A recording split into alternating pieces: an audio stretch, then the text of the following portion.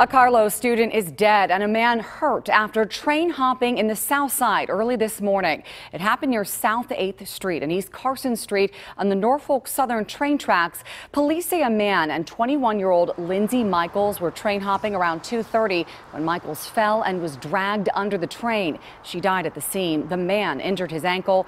Carlow University released a statement saying that it extends its deepest sympathy to the family and friends of Michaels.